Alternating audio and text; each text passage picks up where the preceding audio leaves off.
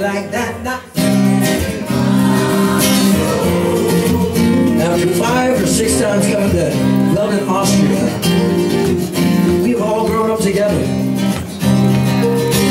When you're singing, it's to be desired, so we have to do it together, together.